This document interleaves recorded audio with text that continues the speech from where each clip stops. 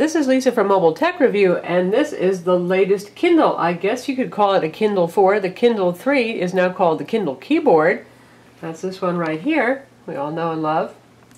And this is the $79 one if you get the with offers version. It's $30 more if you don't want to see screensavers that have advertisements on them, though the advertisements often have good deals on Amazon and other places. But 79 bucks for a non-touchscreen e-ink reader with a Pearl e-ink display and a fairly fast CPU is just an awesome deal, and this is certainly going to be a threat to other ebook manufacturers. Let's take a look around the device. This is a 6-inch display here, same 800 by 600 resolution as the Kindle keyboard or Kindle 3. We've got buttons down here. This is the standard D-pad that Amazon's so fond of, also found on Kindle 3, Kindle 2, and so on. We have a home button, a menu button, does what you're used to. If you've used a Kindle before, brings up menu options. Got the keyboard button that brings up the on-screen keyboard and a back button. And let's take a look at that keyboard. There it is in all of its glory. This is obviously not a QWERTY keyboard. This is a ABCD kind of inline. And at first I thought, well, that's going to be awkward if you're used to the layout of a QWERTY keyboard. But since you can't actually touch the thing, well, I, I, do find it's easier that it's an ABC kind of format. And yes, you can, instead of having to go all the way over and wrap around, you can just go this way. Say, I want to get back to that side. You can do that. So you've got all your letters and your numbers here. And obviously, if you're a big-time note taker, this is not going to appeal to you. This is a very tedious way to enter text. If you rarely had any use for that keyboard that's hanging like an appendage on the Kindle 3, Kindle keyboard model, then this will probably suit you fine. The only time you'll have to bring it up is to go to location numbers or page numbers, obviously using the numbers up here, or if you're actually going to use the in-store shopping experience on the device and you want to search for a book. Of course, there's the built-in web browser too, which has a bunch of bookmarks, and once you enter your URLs, you can bookmark them, so you don't have to use the keyboard again, but that, that could be another little bundle of joy there if you have to enter a long URL using this keyboard. I mean, it's doable, and gee, you know, if you don't use it that often, it's fine. But again, if, if you're a heavy keyboard user, you're going to want to stick with the Kindle 3 or Kindle keyboard is now called, or the Kindle Touch when it's available at the end of November. And that will have a touchscreen, on-screen keyboard, much like the Sony readers and the Nook Simple Touch.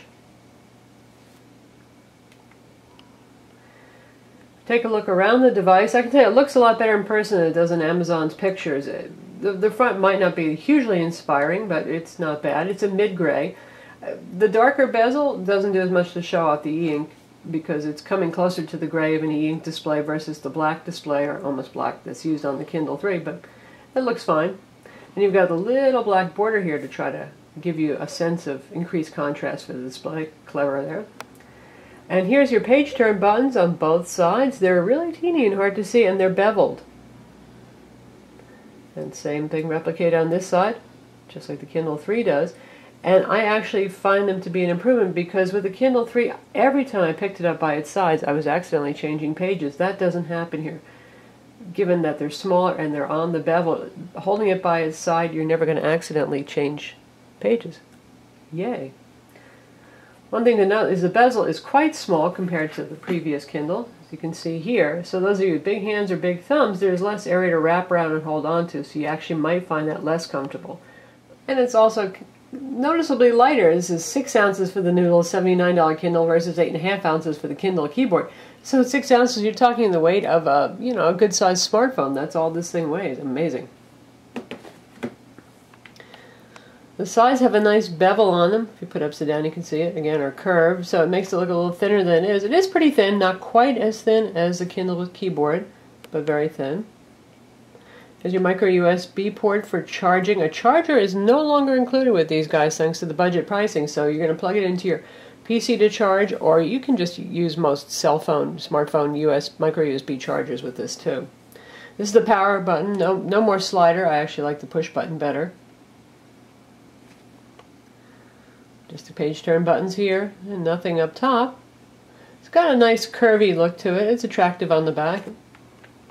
And this is a kind of soft touch finish, so it's reasonably easy to grip, does not show fingerprints.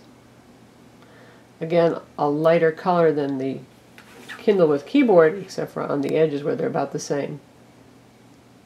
You can see the big old speaker grill here for the Kindle 3 because, well, it has an audio player and it has built-in speakers. This has no audio player. If you want audio player, you're going to have to get the Kindle keyboard or the Kindle Touch edition, which does have audio player, does Audible, does MP3, all that kind of thing. In terms of display quality, the Pearl E display is good, as high contrast, it has 16 shades of gray. I would say it has a slight bit less of glare than the, the Kindle 3, not that either of these is very glary, certainly compared to gloss LCD displays they don't, but seems to me a bit less. In terms of contrast and whiteness of the background, you know, there's always a little variety just from one to the other, even if you have two Kindle 3s. I would say they're very similar, but my Kindle 3 may be a little bit whiter than this Kindle 4 or $79 Kindle, or whatever it is we're going to be calling this Kindle now. Blacks are just as black on both of them, and the, the big change is really the refresh. So with this is the flash to black that we're used to seeing here going on. And on this one,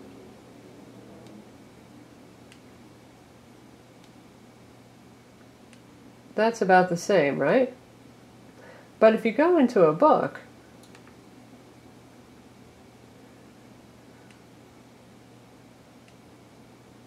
notice how it's not doing that. It's only going to refresh and completely black out the screen every six pages. There was that flash to black. But the big difference is we've seen that also on the Nook Touch and on the Kobo Touch readers. And it, it's a great idea because a lot of folks hate that flash to black and it is distracting a bit. But it left a kind of five o'clock shadow of text that didn't get fully erased. Now, Amazon has done a really good job here. And you can see there's a lot of white space around, so it becomes apparent if there's much five o'clock shadow. And there isn't really, per se, any residue of text that I can see, or it's very, very faint. So definitely good going. With with the Nook and the Kobo, they actually had to add settings to allow you to control how often it refreshes because some people couldn't stand that kind of graying over as little bits of text could litter the screen, and it's just not a problem here. So really nice, really good, and perfect for you folks who just hate that flash to black. You won't be seeing it except for every sixth page when in a book. Now, when you're in a book, the experience is pretty much like any Kindle here. You, you just you've got your text here. If you want to get a definition, the dictionary is included, and you can see also an option for adding highlights. And if we want a full definition of that word, we just press in the D-pad, and we can either get a full definition, start highlighting, create a note, or cancel. In this case, we're going to go for that definition. And there's our definition. This does not have the new X-ray feature that the Kindle Touch is going to have where it actually looks stuff up on the Wikipedia for you. It's just going to use a straight dictionary. In terms of other settings, again, there's the turning your wireless on and off. It has Wi-Fi 802.11 BGN. It's full N, not just in BG compatibility mode like the last generation Kindle. You can shop in the store. You can change your font. That's that's one thing I missed the keyboard for because you could just hit the little font control button on the keyboard to get to this without having to do clicks in the menu. But you've got the same options over here, type, typeface, regular condensed, serif, line spacing, words per line, screen rotation, supports four-way rotation, and many text sizes, obviously. And if you want to bookmark something, you're going to use the menu, and then you're going to hit Add Bookmark. No little keyboard shortcut for that one either. You can search the book, you can get a book description, sync to furthest read page, do the old popular notes and highlights thing and view any notes and marks that you have. So pretty much standard Kindle stuff there. And if you want to go to location, obviously you're going to use the on-screen keyboard. So PDF speed on this is a little bit faster than the Kindle 3, though once the Kindle 3 gets the document open and index and caches it, that it catches up again. In terms of features in the PDF reader, you can see we've got go to, and you get to act actually enter a page number, choose beginning, cover, or end. Again, pretty standard Kindle stuff. You can search the document, you can add a bookmark, you can place the cursor in the page.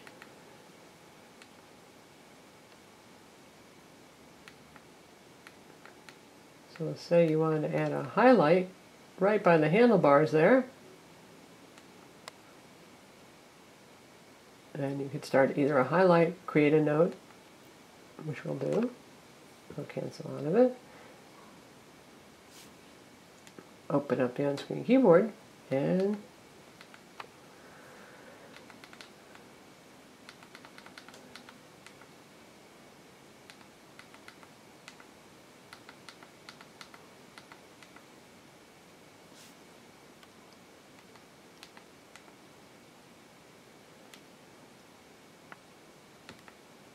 and then you can save the note.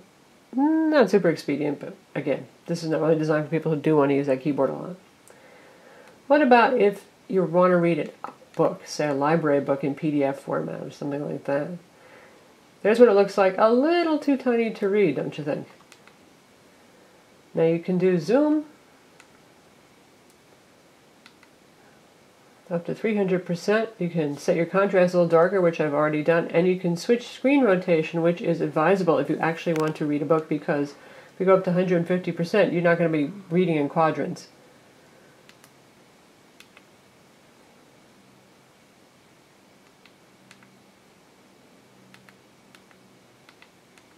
So I'll switch to landscape mode. Uh huh, actually readable now.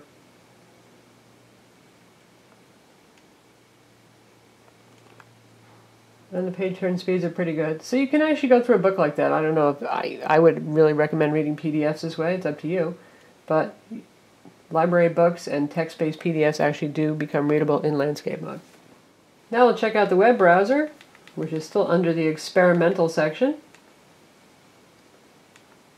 And really, it's a pretty fast and capable web browser. Here it is on our own site right now. Now you might want to choose to switch this to landscape mode for best viewing, but it's pretty fast it's usable. And you've got a virtual cursor here using the D-pad, again, much like the Kindle 3. But, you know, it's e-ink, it's grayscale. It's not like you want to use this as a substitute for a, a colored LCD-based tablet or computer. But it's good for looking up things in the Wikipedia. If we hit the menu button, you can see you can enter a URL or you can just move your cursor up there if you want to do that. You can zoom in, zoom out. You can try out article mode which is really best viewed for article-based things and not a homepage, but it tries to pick out the text.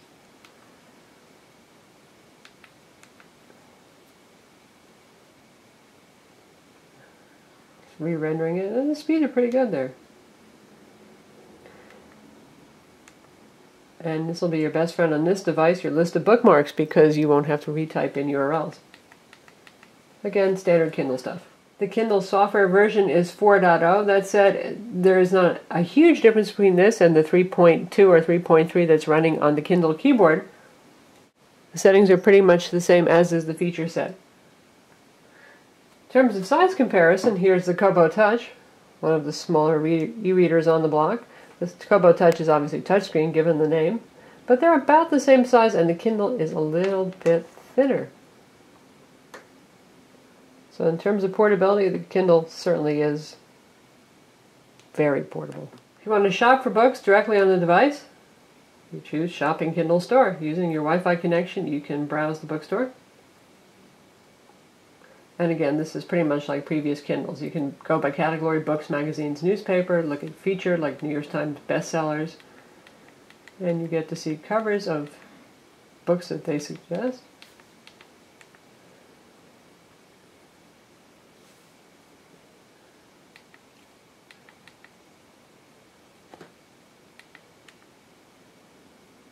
See more about a book, just click on it. And you can buy it, you can have a sample sent to your Kindle, or you can add it to your wish list. Amazon does right now have the largest bookstore, so you have a very wide selection of books to choose from, not to mention magazines and newspapers. Those won't have the pretty layout that you see on a, a tablet or on the Nook Color, but you will get the words and some basic grayscale images. As with previous Kindles, this supports the Kindle format, it supports Mobi. It does not support EPUB, no, even though it now does library books from public library lending. No EPUB here, and it does PDFs, obviously, as we've seen. And if you want to check out a book, uh, an, e- an ebook from your public library, it's pretty easy. You, you browse using your computer the way you do now. When you want to check out a book, if you choose the Kindle format, what's going to happen is this going to get sent to Amazon's Kindle server, and then that's going to send you a compatible format here. So no have, having to hook up via USB, no using Adobe Digital Editions like you do in EPUB readers, just does it that way. Now other readers like the the upcoming Sony reader are going to have a pretty slick setup where you can actually use the web browser on the device to check out a library book and then send it directly to your device without involving your computer at all. But that's Amazon's method that uses their server as an interim. Now, in theory, you could also use the browser on this to, to browse your, your library to get some books too. Uh, the browser is certainly capable enough, it's just a bit tedious without either a hardware keyboard or a touchscreen to go through the whole process, but you could do that. And the, the browser supports uh, standard single window view. It still does not support pop up windows, but most public libraries using Overdrive don't use pop up windows for login, so that should work. The device has 1.4 gigs of available storage. That might not sound a lot like a lot, but that is a lot of books and even a reasonable number of big, fat, chunky PDFs. And it has no expandable storage. There's no micro SD card slot or anything like that. Of course, Amazon has their cloud backup, and even now, if you use their service to send books to the device, it backs that up in cloud storage for you. So if you delete a book that you used Amazon's Mail to service for, for one of your own personal books or documents and you delete off the device, then you can still retrieve it from Amazon's cloud server. You can sideload books using USB. It's pretty easy. You just plug in the included cable and drag books to the Kindle as it appears on your desktop, and you just put them in your Documents folder on the Kindle. Amazon says that this is good for a month of use with Wi-Fi turned off, um, and that's estimated based on reading for 30 minutes a day. It's too new for us to say if it's going to make it a whole month. We do tend to read more than 30 minutes a day on it and need Wi-Fi on some of the time, but I, based on the Kindle 3, which tended to last me about three weeks, and Amazon claimed up to two months, and I'm a pretty heavy reader and I leave Wi-Fi on a lot, I would say that this guy is probably going to be good for two to three weeks if you leave Wi-Fi mostly off and you read for an hour to two a day. With the ink, it only consumes power when you turn the pages. Just displaying this page right here will not use any power. And Wi-Fi is in general the biggest consumer of power on ebook readers that are e-ink based. I'm Lisa from Mobile Tech Review, and this is Amazon's latest Kindle, the $79 Kindle. Be sure to visit our website to read the full review.